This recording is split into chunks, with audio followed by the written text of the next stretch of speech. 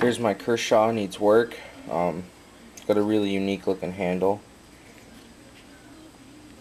Stainless steel pocket clip. It has a 3 inch Sandvik 13C26 blade, which has a nice satin finish. Has the Kershaw logo. It's Ken Onion designed. Um, model number 1820.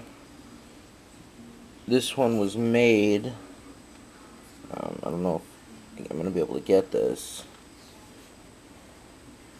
But it says right down there, February 2008. It says it right there. Um, it's a nice knife overall. Very sharp. Only one complaint is the flipper is takes quite a bit of force to push down. Because of that, in here, this area is really sharp. So with opening it with my finger, I've cut myself there. So I've just started to use my thumb and uh, that seems to work okay.